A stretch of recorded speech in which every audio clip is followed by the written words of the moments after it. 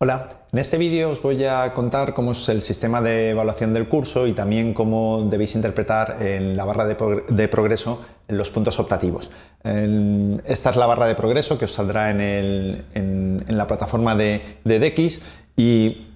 lo primero que quiero, que quiero enseñaros es, bueno, aparte de representar todas las actividades que tenemos, eh, que sepáis que tenemos cinco categorías de, ejercicios o grupos de ejercicios que vamos a hacer a lo largo del, curso. La primera de ellas, que es esta de aquí, se refiere a autodiagnóstico. Tenéis tres ejercicios relacionados con esta categoría y luego el promedio de los que tengáis ahí calificados. Luego tenéis una franja ancha, que es esta que os estoy marcando aquí, eh, de ejercicios relacionados con el modelo de innovación, la definición del modelo de innovación y sus componentes. Hay muchos ejercicios, pero veis que hay algunos que tienen una X marcada por allá arriba, esa que os estoy señalando. Eso significa que son ejercicios optativos, de modo que tú puedes conseguir el 100% del promedio de la categoría simplemente con los siete primeros ejercicios. Y en caso de que alguno de ellos no haya llegado al tope de ejercicios, pues podéis ir haciendo ejercicios adicionales y en la medida que estos ejercicios tengan más calificación que los que ya teníais hechos, van sustituyéndolo. De modo que ahora aparecen las X aquí abajo porque no tenéis ningún punto. Si tuvierais uno calificado con un 30%, pues os aparecería que 30% y sería una X porque vale menos que los otros ejercicios que ya están incluidos en la puntuación. Luego tenéis también el bloque del diagnóstico de otras personas, así como teníais un bloque para autodiagnóstico, tenéis unos ejercicios relacionados con el diagnóstico de otra persona. Y los dos últimos bloques tienen que ver con el plan de acción y con unas reflexiones que os vamos a pedir que hagáis al principio y al final del curso.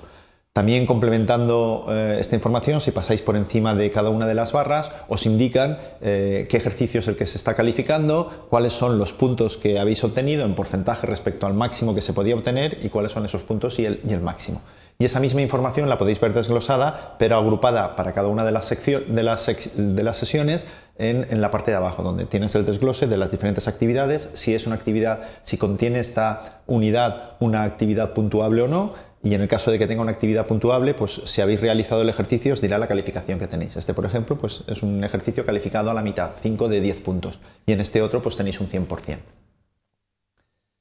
Eh, quizá tengáis un par de preguntas que voy a intentar explicaros en las siguientes transparencias, porque son preguntas habituales. La primera de ellas es ¿por qué hacemos tantos ejercicios? Bueno, el objetivo principal que estamos persiguiendo con ello es que em, reforcemos eh, el aprendizaje a través de eh, que hagáis varias repeticiones del uso de los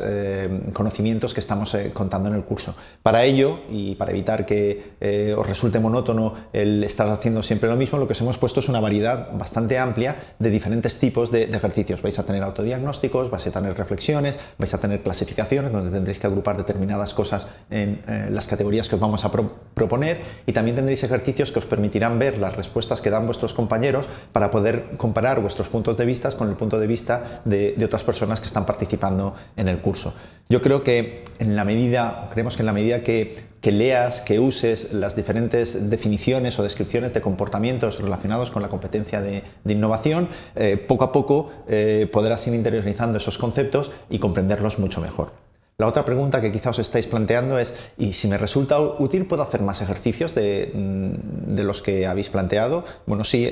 tenéis un par de secciones donde tenéis ejercicios opcionales. En la sección de modelo de competencia de innovación tienes eh, una serie de ejercicios opcionales que pueden servirte para mejorar tu calificación global del curso o en el caso de que ya tengas el máximo con los ejercicios mínimos que os proponemos como, obligatorios, eh, puedes realizar estos ejercicios adicionales simplemente pues, para seguir practicando, para seguir conociendo y para seguir experimentando eh, los conceptos del curso. Y también en las actividades de, de respuesta abierta, hay algunas que os permiten o que debéis eh, calificar a vuestros compañeros o tenéis que supervisar el trabajo que han hecho vuestros compañeros y calificarlos con una rúbrica que os proporcionaremos. En este caso, eh, lo que os fijamos es el número mínimo de ejercicios que tenéis que revisar, pero el máximo no está fijado, de modo que si os pedimos que reviséis dos, pero una vez habéis completado las dos, pues como ponen ejercicios, te queréis seguir eh, evaluando ejercicios, pues podéis decir, asígname otro y podéis ir viendo las opiniones o las respuestas o los comentarios que dan vuestros compañeros a ese ejercicio en, otras situaciones.